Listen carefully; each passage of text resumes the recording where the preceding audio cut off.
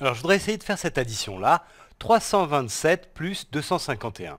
Alors on va commencer par regarder ce que c'est que ce premier nombre ici, 327. En fait, le 3 qui est là, il est à la place des centaines. Des centaines.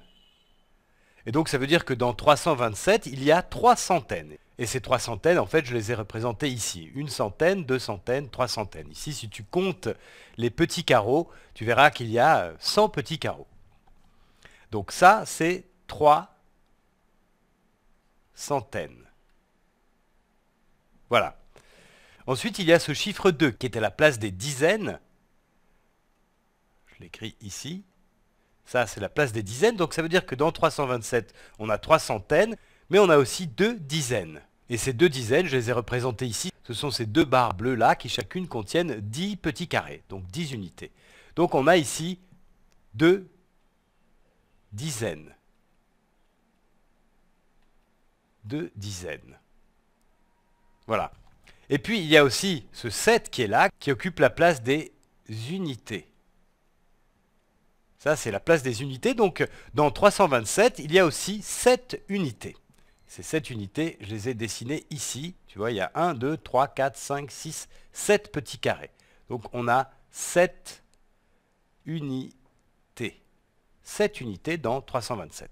Voilà, donc ça, c'est le premier nombre. 327, c'est 3 centaines, 2 dizaines et 7 unités.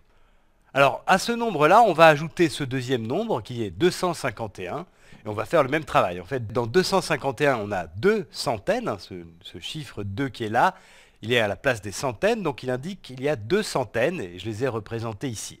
Ça, c'est une centaine. Et ça, c'est une autre centaine. Donc, on a deux centaines. Et puis, il y a ce 5 qui est là, qui représente des dizaines, puisqu'il est à la place des dizaines. Donc ça veut dire que dans 251, il y a 5 dizaines, et ce sont les dizaines que j'ai représentées ici. 1, 2, 3, 4 et 5. Donc on a 5 dizaines.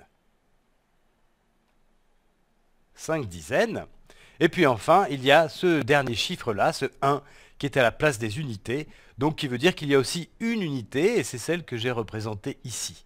Donc on a aussi une unité. Pas besoin de S ici. Voilà, une seule unité.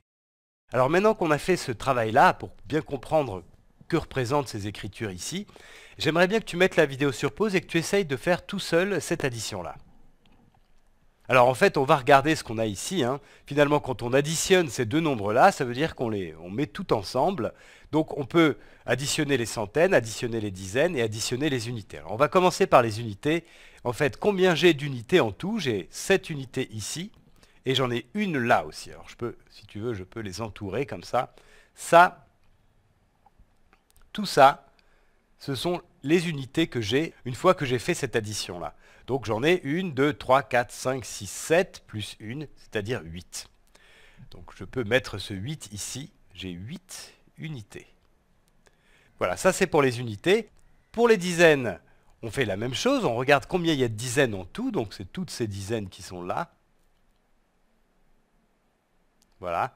Donc il y en a 2 plus 5, c'est-à-dire 7. Hein. Tu peux les compter. 1, 2, 3, 4, 5, 6, 7 dizaines.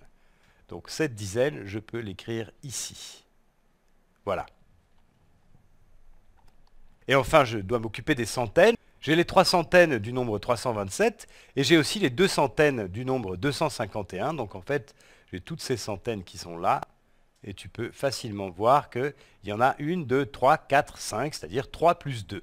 Donc là, finalement, je me retrouve avec 5 centaines. Voilà, et là, on a fini l'addition. En fait, 327 plus 251, ça fait 578.